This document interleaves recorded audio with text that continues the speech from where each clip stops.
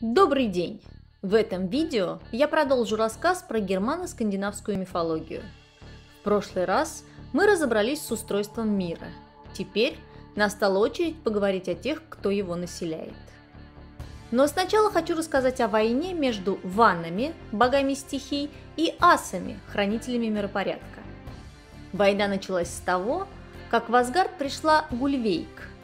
Она отвечала за силу золота, то есть попросту за алчность. Один трижды пытался ее убить, потому что два раза она воскресала. Ваны решили отомстить самоуверенным асам.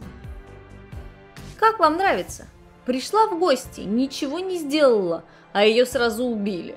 Да еще не единожды. И я сомневаюсь в том, что Гульвейк была злая. Как и в других древних культурах, боги и другие сверхъестественные существа не бывают добрыми и злыми. Они просто отвечают за разные функции, которые полезны или вредны людям. Так у Гульвейк была алчность. Есть и другая версия, более логичная. В этом варианте колдунью создали сами ванны – и отправили в Мидгард, потому что люди поклонялись асам, а не богам природы. Мотив зависти достаточно распространенный в древних мифах. Достаточно вспомнить древнеегипетского Азириса и его брата Сета. Тогда становится понятно, почему Один убивает Гульвейк. Он защищает мидгардцев. А нападение ванов на Асгард – это изначальная цель, для которой просто нужен был повод. Итак, Осада мира асов увенчалась успехом, и бой перешел на улицы. Но там асгардцы оказались сильнее. В итоге был заключен мир, заложниками которого стали с одной стороны великан Мимир и ас Хёнир, ушедшие к ванам, а с другой Ван Ньорд с детьми Фрейром и Фрей, переехавшие к асам. Как вы видите, в германской мифологии происходят две войны за власть и, соответственно, две смены поколений богов. Сначала асы уничтожают почти всех великанов первых существ, о чем я уже говорила в предыдущем видео. А потом побеждают ванов, древних богов природы. Стоит упомянуть, что смена поколений богов – это нормальное явление в мировой культуре. Но обычно их два, например, греческие титаны и боги, индийские асуры и суры, чудовище Тиамат и боги в Месопотамии. Для закрепления мира асы и ваны совершили специальный обряд. Наплевали в чашу и из общей слюны сделали мудрого гнома Квасира, который знал ответ на любой вопрос. Он окончательно помирил воевавших и отправился путешествовать по миру, делясь своими знаниями.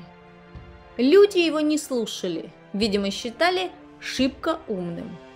Тогда он направился в Свартальфхейм, где жили такие же, как он, гномы. Кстати, гномов, точнее карликов-цвергов, Один, Вилли и Ве сотворили из червей, живших в теле великана и мира. Эти существа превращаются в камень под лучами солнца. Своим соплеменникам Квасир совсем не приглянулся, судя по тому, что его там убили двое – Фьялар и Галар – они деловито слили всю кровь в три посудины и смешали с медом. Напиток, получивший название «Мед поэзии», наделял поэтическим даром каждого, кто его пробовал. Как гласит миф, в гости к гномам зашел великан Гиллинг. Мне всегда было интересно, как он поместился у них дома. Или они его принимали на улице? Скорее всего, второе. Такой я сделала вывод, исходя из последующих событий – Фьялар и Галар так были рады своей выходке, что начали наперебой хвастаться. Но потом спохватились, что великан их выдаст. Потому решили, недолго думая, его тоже убить. Однако это увидал сын Гиллинга Гутунг, который хотел тут же покарать гномов, но те откупились медом поэзии. Великан поместил напиток в центр горы, а охранять посадил дочь Гунлет – но страж оказался ненадежный. Один узнал про мед, перессорил слуг брата Гутунга Бауги, которые поубивали друг друга. Сам же пришел и работал вместо них все лето, а в оплату хотел помощь в добыче напитка. Мед поэзии они договорились поделить. Бауги просверлил в скале дыру. Один превратился в змея и очаровал девушку-охранницу. Потом перевоплотился в орла и в клюве понес мед поэзии в Асгард. Конечно, ни с каким Бауги он делиться не собирался. По дороге часть ценного напитка расплескалась, и ее выпили люди, тоже получив дар. Есть версия, что часть меда царь богов проглотил, а вышедший естественным путем напиток стал пищей для плохих поэтов. А основная часть меда поэзии досталась сыну Одина, богу поэзии Браги. Эта история очень сильно напоминает индуистский миф о напитке бессмертия, за который боролись суры против асуров. И даже такая деталь, что капли напитка упали на землю и достались другим существам. Впереди вас ждет видео о культуре Древней Индии, и там я обязательно об этом расскажу. А пока продолжим про мифологию скандинавов и перейдем уже к самим богам. Один – верховный бог и один из создателей мира. Его братья Вилли и Ве больше нигде не упоминаются, потому возникло предположение, что это другие ипостаси Одина – я не буду вас сейчас пугать аналогией с христианской троицей, а вот на трех богов Тримурти индуизма, Брахму, Вишну и Шиву обязательно обращаю внимание. Один не только предводитель асов, он еще и мудрец. Для того, чтобы стать таким, ему пришлось пожертвовать одним глазом. У корней древа Игдрасиль есть подземная пещера. В ней источник знаний, который охранял великан Мимир – тот самый, что был заложником Уванов. Его обезглавили по навету. Одину пришлось отдать свой глаз, чтобы оживить голову. И тут на ум приходит египетский бог Гор, который дал проглотить свой глаз Азирису, чтобы тот ожил. Голову Мимира правитель асов отнес к источнику знаний. Там он с ней беседует и пьет воду, которая наделяет мудростью, ну, на время.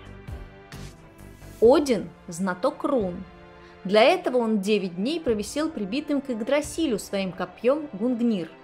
Видимо, такой способ изучения был для бога более подходящим. По одной из версий, руны происходят от этрусского алфавита. Ими пользовались с 1 по 12 век на основной территории Скандинавии и до 13 века в Исландии. На территории Швеции есть провинция Даларна, где руны были в ходу аж до 19 века. Жена Одина – Фрик, богиня брака и домашнего очага. Но по примеру своих индоевропейских божественных коллег, он породил детей не только от нее, но и от разных других женщин. Его дети – Тор, Тюр, Хеймдаль, Бальдер, Хет, Хермот, Браги и другие. Перед вами вариант реконструкции генеалогического древа скандинавских богов.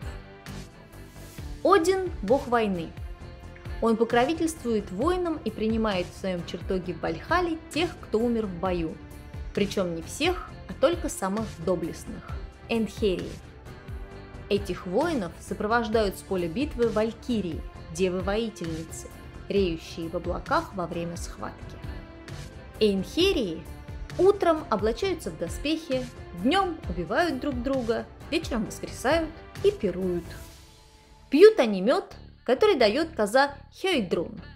Так видоизменяется ее молоко, потому что питается она листьями с древа Игдрасиль. Едят эйнхерии мясо вепря сехремнир, который полностью восстанавливается к следующему ужину. Готовит для воинов повар Антхремнир в котле Элтхремнир. Поскольку хремнир переводится как покрытый сажей закопченный, то, возможно, повар негр – да простят меня поборники толерантности, но использовать термин афроскандинав в этом контексте было бы как минимум странно. Кроме Вальхалы, есть еще несколько мест для умерших. Так, часть воинов, видимо не самых доблестных, отправляется на луг Фолькванг в чертогах Фрей, богини любви и войны. Для тех же, кто умер в своей постели, то есть не в сражении, дорога в Хильхейм, холодное, темное, туманное и серое место, откуда удалось возвратиться только однажды. Это сделал бог Хермот. Он – сын Одина и его законной супруги Фрик. У него было два единоутробных брата слепой Хет и Бальдер, бог весны и света. Последнему было предсказано, что он умрет от руки брата. Обеспокоенная мать взяла клятву со всего, что могло стать орудием. Металлы, камни, растения, звери, птицы и даже рыбы, что они не причинят вреда ее сыну. С этого момента все асы решили, что Бальдер бессмертный. Они стали развлекаться тем, что пытались его убить, перебирая разные способы, на какие только хватало фантазии. Конечно, у них это не получалось. Специалист по хитрости и обману Локи узнал, что Фрик забыла про Амелу, сделал из нее стрелу и вложил в руки слепого Хёда. Так исполнилось пророчество, и брат убил брата. Вы, конечно, помните, что и у соседей германцев кельтов амела была особым растением, но специфика ее была другая. Подробнее об этом в видео про культуру кельтов, которое доступно по ссылке вверху экрана. Бальдер, умерший не на поле брани, попал в Хельхейм. К нему присоединился Хет, мгновенно убитый богом мщения Вали. Туда же, в надежде вернуть брата, отправился Хермот. Хозяйка загробного мира Хель, дочь Локи, сказала, что отпустит бога весны и света, если все живые существа будут его оплакивать. Асы отправились по миру уговаривать плакать тех, кого встречали. Но великан Шоток, в который превратился Локи, отказалась. Так Бальдер остался в Хельхейме. Этот миф отражает распространенный древний сюжет о смерти и воскресении богов плодородия и смене времен года, с той разницей, что возрождение Бальдра запланировано на Рагнарёк, последнюю битву. О ней я расскажу немного позже, а пока продолжу рассказ про асов. Наверное, самый известный скандинавский бог – это громовержец Тор. Те, кто смотрел американский фильм компании Marvel, даже не догадываются, что он был рыжий, так же, как и его жена Сив. А вот молот Мьёльнир у него был. Но сам Тор не мог его поднять, а уж тем более пользоваться. Для этого у него был пояс силы Мёгенгьорд, который удваивал силу бога, да еще волшебные железные рукавицы. Только ими он мог метать молот. Это оружие, как и другие магические предметы асов, сделали цверги. Начать рассказ про них стоит с неприятного происшествия. Локи срезал волосы у богини плодородия красавицы Сив. Тор был вне себя и грозился покарать виновника. Но Локи обещал все исправить он отправился к цвергам, искусным мастерам кузнечного дела. А те с удовольствием создали не только тонкие золотые волосы, которые прилипали к голове и росли, но и копье Гунгнир, поражавшее любую цель, и корабль Скидбландир, на котором умещались все воины Асгарда. Но его можно было сложить и убрать в карман, как платок. Получив эти предметы, Локи отправился было к кассам, но по дороге поспорил с другими цвергами, что они не смогут создать ничего более совершенного. Причем поставил свою голову. А они взяли и создали. Вепря Гуленбурсти, который очень быстро бегал, Золотое кольцо Драупнир, которое увосьмерялось каждую девятую ночь, и молот Мьёльнир. Именно молот был признан асгардцами самым совершенным созданием цвергов. А Локи проиграл спор. Однако Один запретил рубить ему голову, но зашил рот.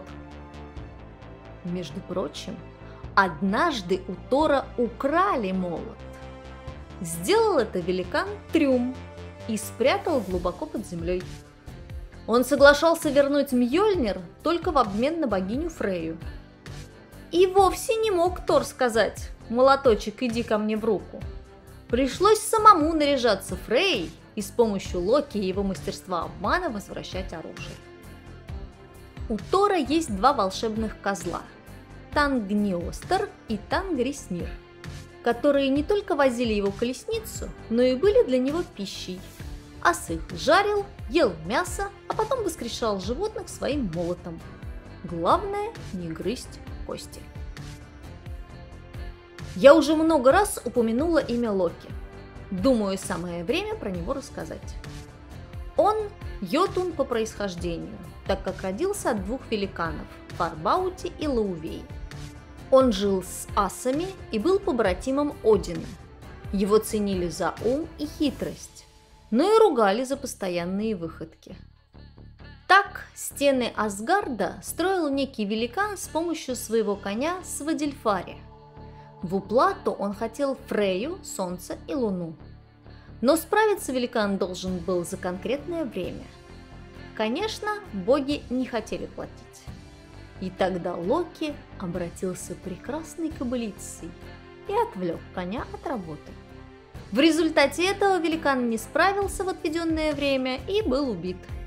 А Локи забеременел и породил восьминогого коня Слипнира, на котором стал ездить сам один. Этот сюжет опять отсылает нас к индуистской мифологии, когда бог Вишну превратился в женщину Махини, которая очаровала Шиву, в результате чего на свет появился Айяпа.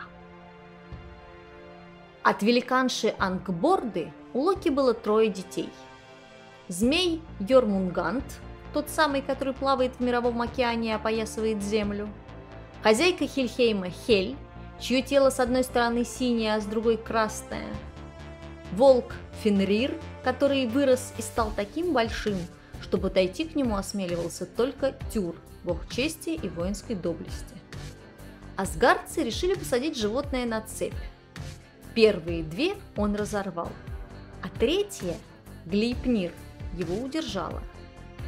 Ее изготовили цверги из очень специфических материалов в составе шум кошачьих шагов, женская борода, корни гор, медвежьи жилы, рыбьи голоса и птичья слюна. Для того, чтобы волк разрешил надеть цепь, Тюр положил ему в пасть свою руку. А когда Фенрир не смог освободиться, то откусил ее. От богини Сигюн у Локи было двое сыновей – когда на Перу мастер хитрости и обмана обвинил богов в трусости, богинь в разврате и признал свою вину в смерти Бальдра, боги взбесились. Они поймали Локи с сыновьями, одного мальчика превратили в волка, он разодрал второго, и его кишками светлые асы привязали виновника к скале. Богиня Скади, от чьего имени происходит название Скандинавия, была особенно зла на Локи, так как по его вине погиб ее отец.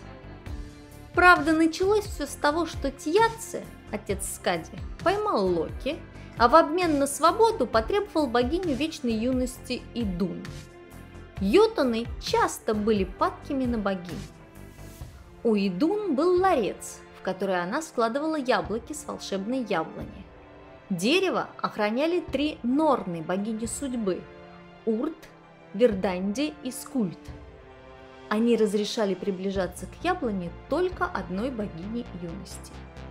Этими яблоками Идун кормила асов, и волшебные фрукты поддерживали в богах жизнь и молодость. Локи обманом помог Тьяце украсть богиню с яблоками – а асы сразу же состарились и подряхлели. Тогда тот же Локи по приказу Одина вернул Идун с фруктами в Асгард, Тьяци погиб в процессе погони.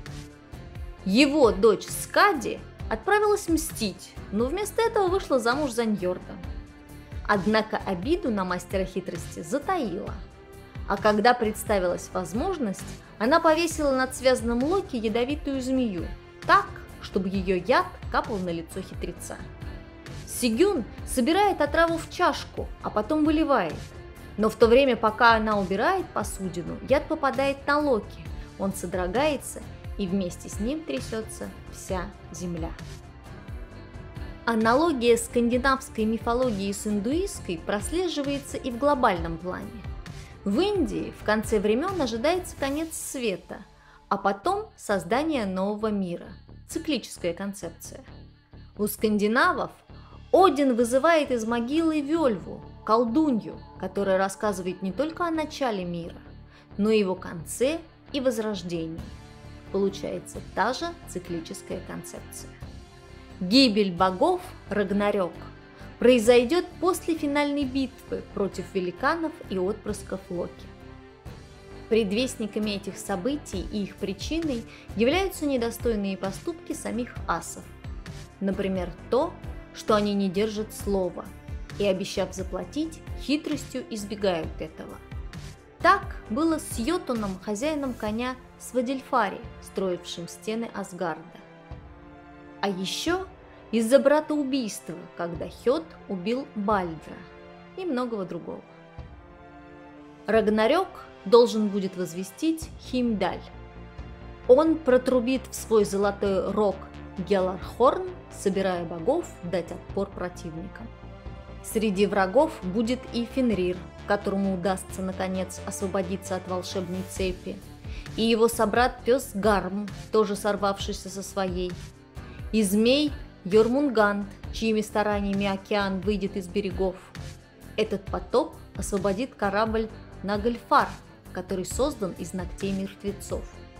Любопытно, что он не держится на воде, но прибудет по льду, который останется на земле после трехлетней зимы.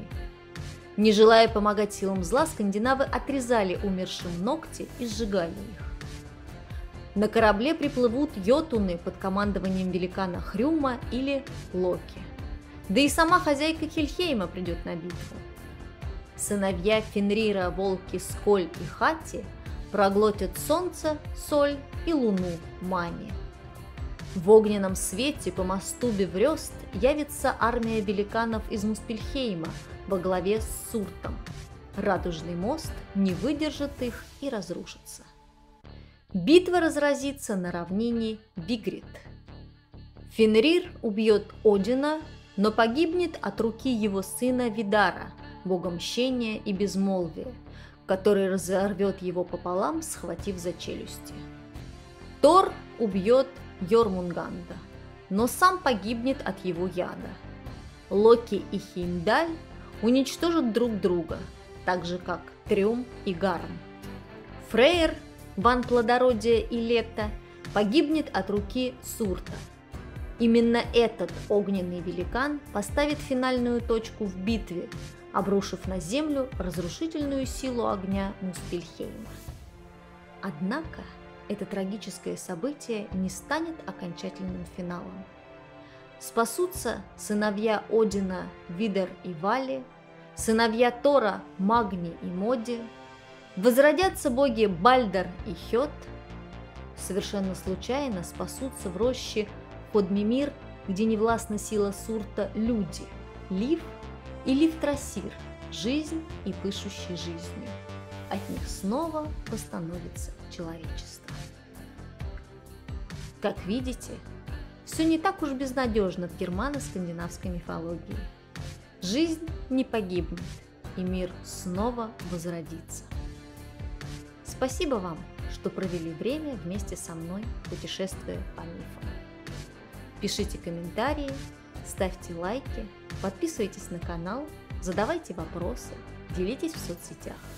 Спасибо вам за внимание.